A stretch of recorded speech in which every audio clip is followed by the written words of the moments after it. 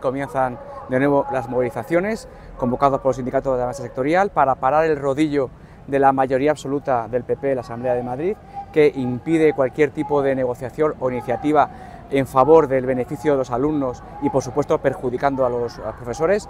Seguimos con las mismas reivindicaciones del año pasado, añadiendo la nueva ocurrencia de la consejería que parece que quieren arreglar el mundo, acabar con la soledad, con, eh, acabar con las bandas juveniles, eh, con las adicciones y, ¿por qué no?, acabar con la paz en el eh, conseguir la paz en el mundo, acabar con la guerra de Ucrania, ¿no? ¿Por qué se plantean objetivos tan,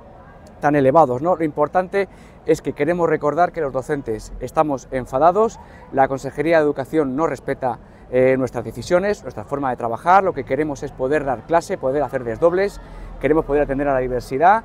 y lo que queremos es, por supuesto, tener una educación pública de calidad como se merecen los alumnos. A día de hoy, la Comunidad de Madrid lo único que hace es mimar y cuidar a la enseñanza concertada, eh, eh, siempre en contra de los intereses y la financiación y los, eh, todo tipo de ventajas que puede tener la educación pública como la única garante de la igualdad de las de oportunidades entre todos los alumnos.